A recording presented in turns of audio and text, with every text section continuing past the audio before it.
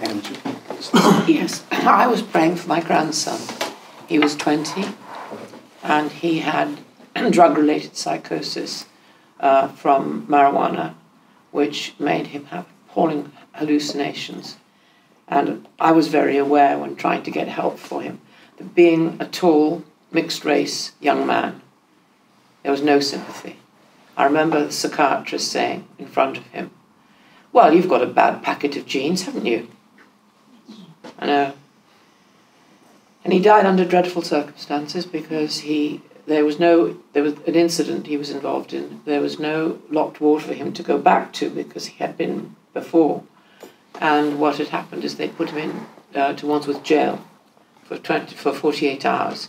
And even though he, they were warned that he was suicidal, somebody gave him back his shoelaces, his trainer laces, and he hanged himself. So it's an issue very, very close to my heart. And irrespective, for the moment, we are hearing a huge amount about suicide because Carl Sargent was a member of the Assembly. He was an important man. But we don't hear about the hundreds and hundreds of men who kill themselves all the time and are anonymous. And we all know that if it were women, there would be a public outcry and masses of funding. So you can imagine for all those families who've been touched, and it's actually quite frightening because when you start talking to people, oh, yes, it was my nephew, oh, yes. So it touches so many people now. And again, there is no sense of outrage. But I want to talk about how I, in the, from the beginning of the refuge, understood that there is no such thing as a gendered violence. It never has been. And so that's the big lie. That the truth of the matter is, and has always been, I knew in my own family, at both sides of my family, there are three generations of violence and alcoholics, and both my parents were dysfunctional and violence prone. Particularly my mother, she was physically very violent to me. So when I opened the refuge by accident, I was running a community centre, as many of you know, and the first woman came in who was bruised. I took her in because I knew I couldn't send her back, and there was nowhere else for her to go, or anybody else at that point. Uh, but almost immediately, I was very aware of the need for refuge for men. I think one of the first things that, that horrified me was uh, a, a man drove his car to the back of the refuge where his wife was in the refuge, and he killed himself with carbon monoxide. And I just remember the young policeman coming to tell his wife, and I remember to this day, because he said, You must sit down, I'll find a chair for you. She said, Oh, thank God for that. And I just remember that moment thinking, and I just remember her thinking, at that point, I had to do something. So I managed to get a house in North London for a peppercorn rent from the GLC. But this is the shocking part, and this is something that's happening today. The millionaires who are more than willing to put their hands in their pockets for women and children would not give me a penny for a refuge for men. And nothing's changed, as you all know.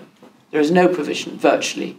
Every so often, somebody seriously tries there's a couple of beds, mm. and then they go down for that. Or those of you who know Earl Silverman from Canada, he hanged himself in the end because he tried to keep his home open for men and refuge. And he really was naive enough to believe the Canadian government would listen to what he was saying and the numbers of men who asked him for help.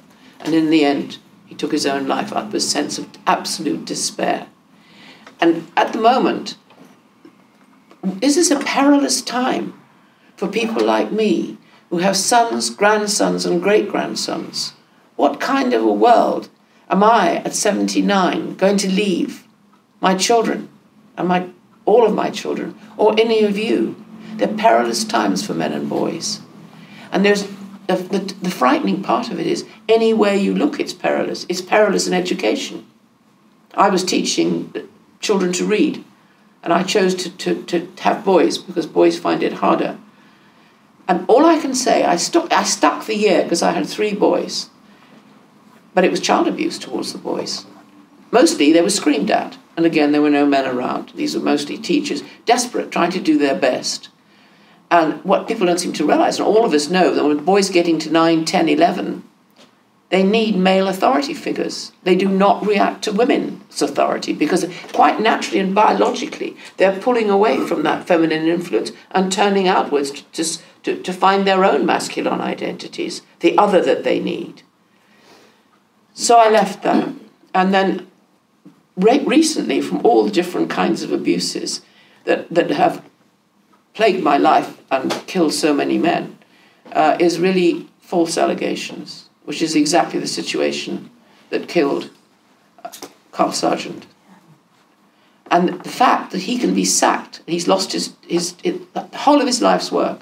It doesn't matter people saying, oh, well, as they've said to me, oh, well, he must be, he must be guilty, that's why he did it. No, any man who knows that there are accusations against him knows he will probably lose his job. If he has children, he has to move out of his house. This is only allegations, no evidence.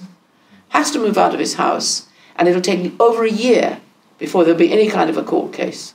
Now, what people don't know is that the woman, and it's 99.9% it's women who are making these allegations, these women get paid. The Criminal Compensation Board, from the moment she makes the allegation with no evidence, can hand out up to half a million in compensation, depending on what the, the, extent of the, of the so called allegation. Taxpayers are paying this, and if she then, he then is acquitted, they keep the money. And the police will help you fill in the form. This is a matter of fact, not fiction. And it's been going on for a long, long time. The only reason that it's all coming to common ground now is because this man in the Welsh Assembly hanged himself. And I am hoping that his family will do what I did when Keita died. I took the Home Office right the way through the entire court system in England and then to Brussels. And my, and my wish is that it's going to take, we men have to start suing. No one is going to listen until they do, because they, what they do, they play the paper trail with you. Letters, memos, yes, assertions, texts, anything, but they do not actually take any action. I don't know how many of you have seen uh, Mark um, Pearson's case. He was going home completely innocent, Waterloo Station. Did any of you see that case? Yep, there was. Next morning, police outside. You've been accused of, of abusing this woman on the platform. The actual details of the abuse are so gross, they're not physically possible. The, a judge told the CPS that they should give the case up. CPS insisted. Now, why would the CPS insist when the actual CTV cameras showed that he didn't touch her? He walked straight past her. Why would they do that? Well, 63% of the staff of the Crown Prosecution Service are women. Alison Saunders is a very well known radical feminist. And I'll bet my bottom dollar so are the other 62 women. And it's open season on men.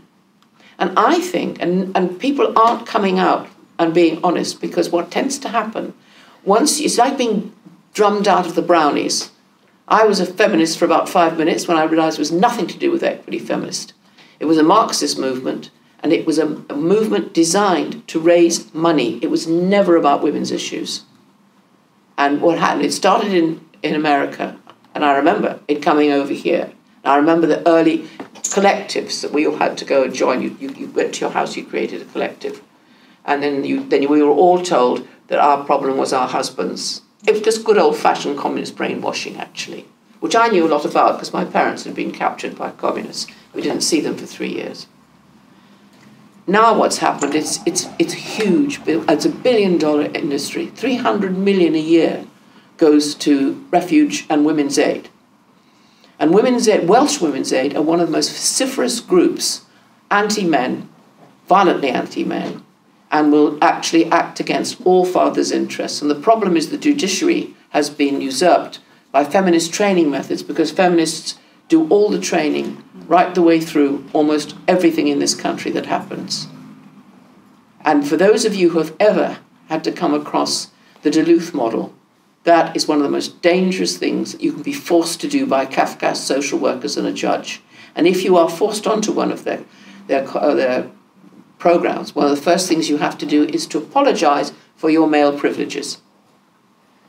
How can the government fund such an openly obvious political ideology.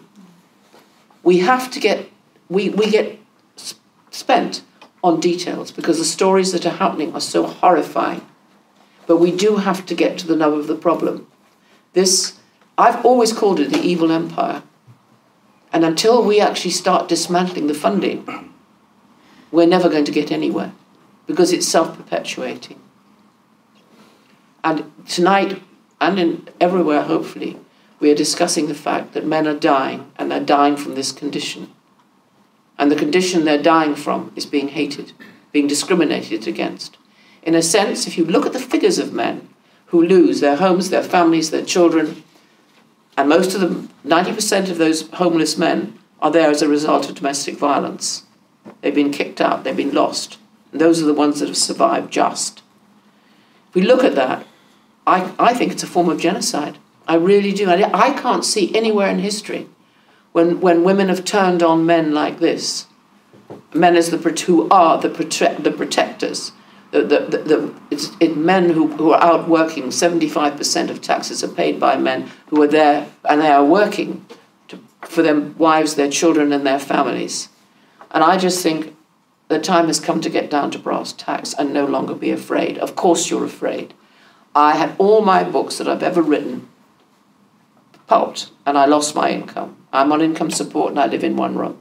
It doesn't matter. The only thing I own in life is a very old car.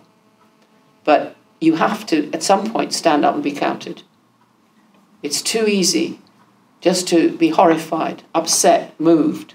We need action, and we need action from men.